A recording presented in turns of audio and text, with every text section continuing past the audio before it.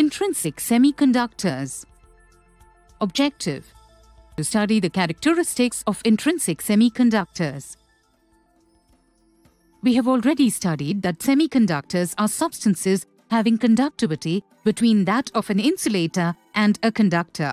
Semiconductors are of two types intrinsic semiconductors and extrinsic semiconductors.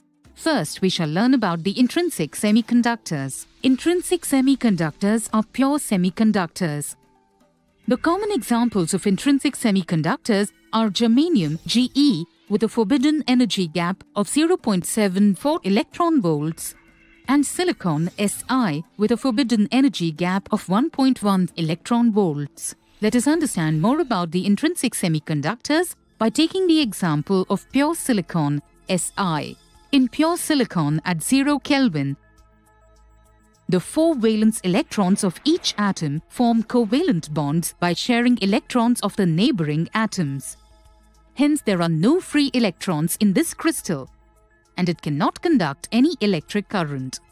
However, at room temperature, the atoms in the semiconductor absorb thermal energy and the covalent bonds of a few atoms rupture, giving rise to free electrons. The escaping electrons leave vacant space known as holes.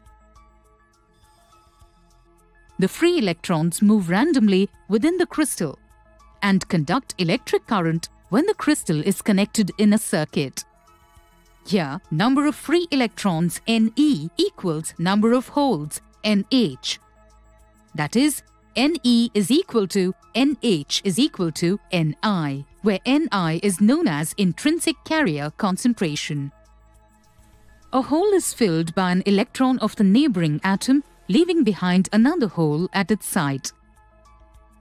We can say that while the electron moves in one direction, the hole appears to move in the opposite direction. Similarly, an electron from another covalent bond settles into this hole, creating a hole at its origin.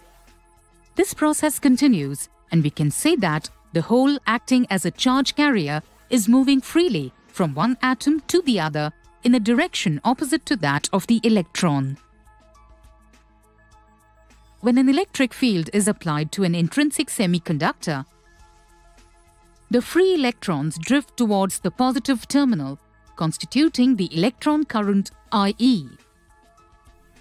At the same time, the adjacent valence electrons move into holes, effectively moving the holes towards the negative terminal of the battery, giving rise to the hole current IH. Thus, total current I in an intrinsic semiconductor is due to both the electrons and the holes. Mathematically, I equals IE plus IH.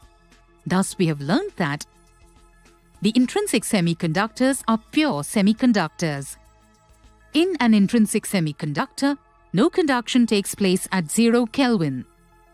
The conductivity of an intrinsic semiconductor is due to the movement of free electrons and the holes.